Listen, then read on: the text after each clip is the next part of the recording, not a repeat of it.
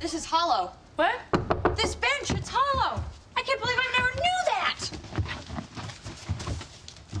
Oh, the present! Oh, no, don't look directly at them. What? All right, no, we could look at them.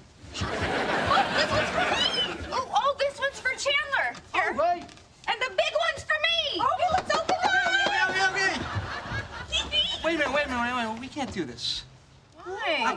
I don't want to know what Monica got me, you know? I mean, look, I'm sure she worked really hard at getting me a present and wanting to surprise me, and you guys are going to ruin that. And that, look, we have to put these back. This is not what Christmas is about. Whatever, Linus. I'm opening mine. Nobody is opening anything, okay? Look, I don't know about you guys, but I want to see the look on Monica's face when I give her my present, and I'm sure she wants to see the look on my face when I get mine. So please, please, can we just, can we put them back?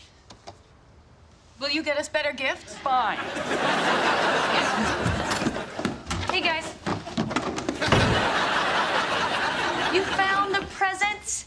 Chandler, you let them find the presents? Great. Do you know how long it took me to find you that water purifier? That's what you got me? Oh, yes, I see what you mean. That look is priceless.